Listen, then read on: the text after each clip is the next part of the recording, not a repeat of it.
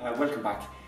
Uh, this is Pat here from Plant Store and if you remember in a previous segment we uh, were in the nursery in the Netherlands um, and we, we looked at the elephant's foot or the ponytail plant.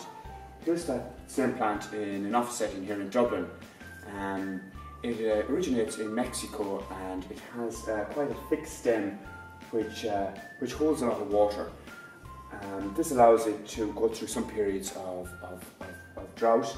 Um, it does like a little bit of light and here it's underneath a, a, a roof, a roof window. But uh, you can see how slow growing it is because this had, it was put in uh, a year and a half ago and it has only grown around 10 centimetres in the last year and a half. But it's a brilliant plant and it has a presence and uh, it was well worth seeing it here in, this, in an office setting here in Dublin.